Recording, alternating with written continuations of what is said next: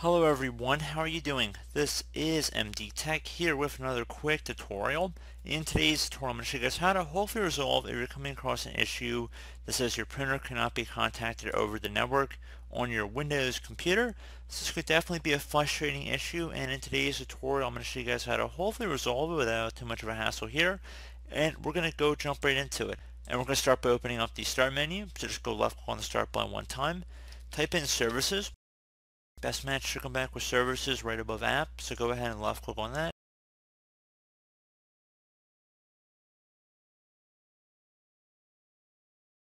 You want to scroll down to Remote Access Auto Connection Manager. So scroll down to that. Shouldn't be too far down the list here. And double click on that.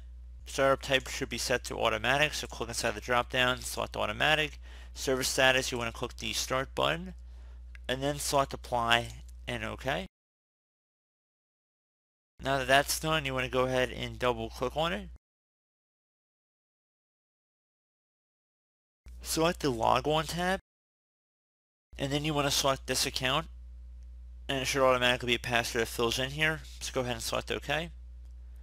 Once that's done, close out of here, try and connect to the printer over the network again, and hopefully that's resolved the problem.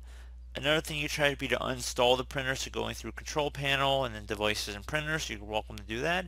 So hopefully that maybe also serve as an alternative as well. Another thing you could try would be if we were to go into devices and printers, so I've already mentioned it, so we might as well open it up here. So again, devices and printers.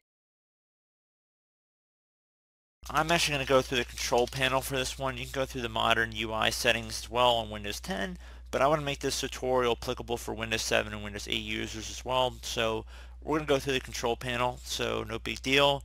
We're going to sort by view by large icons here, and you want to select devices and printers.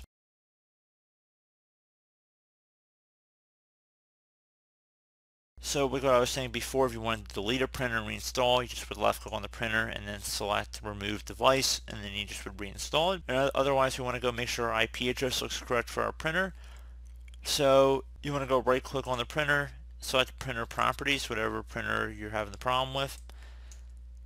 Select ports and there should be an IP address on the left side you want to go ahead and make sure that one's selected so it should be like 192 dot and then just follow up a bunch of numbers. If anything else is currently selected, it's probably not obviously going to be connected to the network because you want to have something that looks like an IP address in there. So just keep that in mind. Might also point you in the right direction here. So close out of here. And like I said, I do hope that one of the methods I went over in this video helps resolve your problem. And as always, thank you for watching. And I do look forward to catching you all in the next tutorial. Goodbye.